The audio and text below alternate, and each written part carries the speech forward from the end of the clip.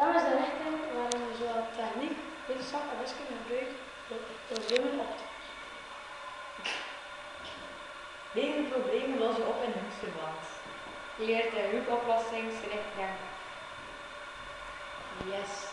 Dit is helemaal!